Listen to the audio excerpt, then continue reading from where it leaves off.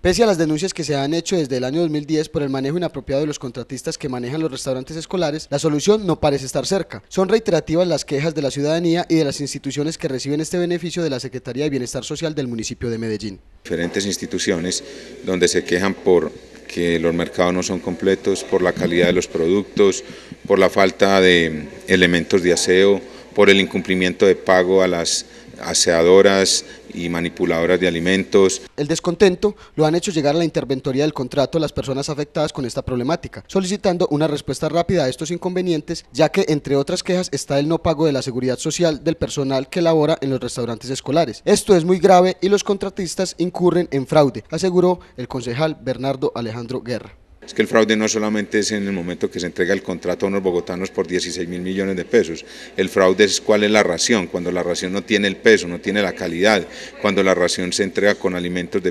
que no cumplen con las eh, especificaciones necesarias. Estoy seguro que mucho de lo que ha denunciado la, comunidad, los estamentos eh, de la Secretaría de Bienestar, profesores, ninguna persona que estuviera en un estrato diferente a los estratos 1 y 2, se lo daría a sus hijos. Las inconformidades son constantes y el llamado es para que se ponga fin al mal manejo de los contratistas, que según las denuncias son los responsables del mal servicio que se ofrece a los estudiantes.